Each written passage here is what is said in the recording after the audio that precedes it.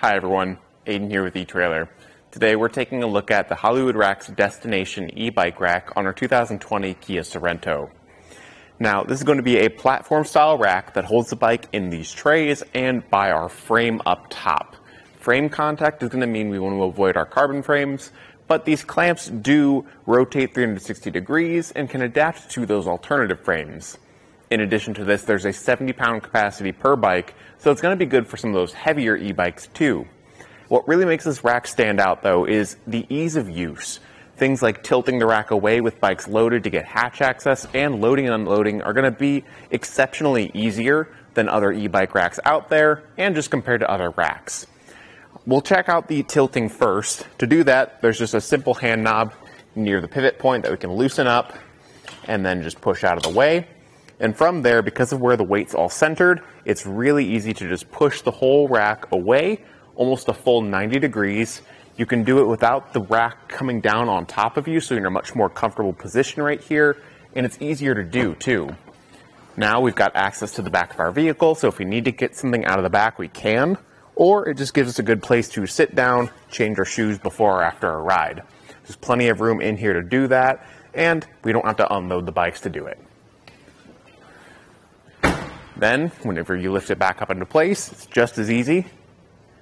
All that weight is really well centered, so it doesn't take much effort to do. Comparing it to something like the Yakima on-ramp, that's another e-bike focused rack, that one's really difficult to tilt, and a lot of that weight of the rack is coming down on top of you after you pull the pins to tilt it. So it's not super safe, and I don't feel as comfortable doing it alone. Now, getting the bike unloaded is really straightforward too. We've got a series of straps down on the wheels, and the big thing is the included ramp. It doesn't store on the bike rack, so you have to keep it in your car, but you can loosen up the hand knob, extend it out, and use this oval hole to slot in near the back of the tire, right there. And this will give us an easy way to lower the bike down without having to lift it. Now, it only attaches at the back end of the bike. So unfortunately for us today, we can't really show it because we have a wall in our way. But you just take that into account whenever you park with the bike rack, make sure you've got room on that side. And then once you've got the straps and the locking clamp up here undone, just loosen the hand knob and pivot it out of the way. You would be able to just roll the bike back like this down the ramp.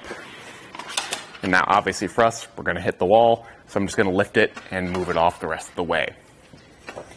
The ramp is really nice because it's super wide, so even if you have some wider tires, it's gonna fit on the ramp pretty well and be stable too. Again, comparing it to the Yakima on-ramp, that one also comes with a bike ramp, but it's a lot more narrow and just not as stable.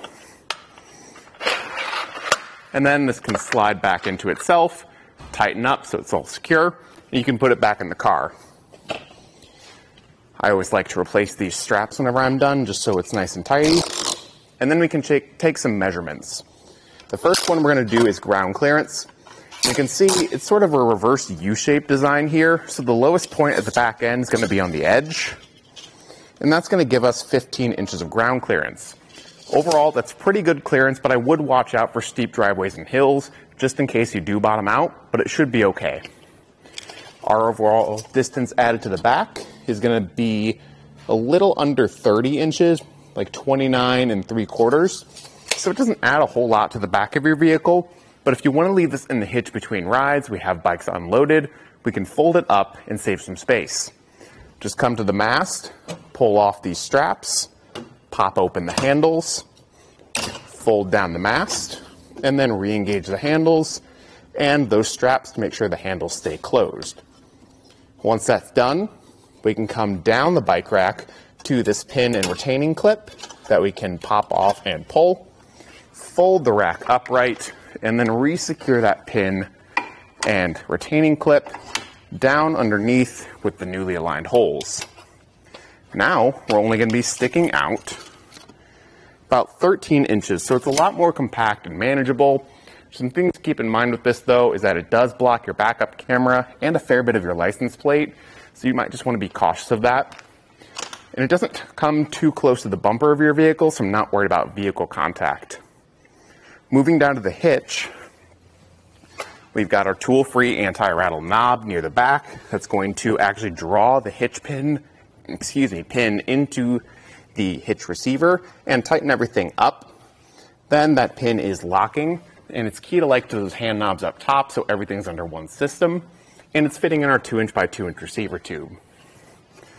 And overall, if you're looking for an e-bike rack that's going to be really easy to use, easy to operate by yourself, and be able to carry some of those heavier e-bikes, this is definitely the way I would go, and it's a great fit on your Sorento. Thanks for watching.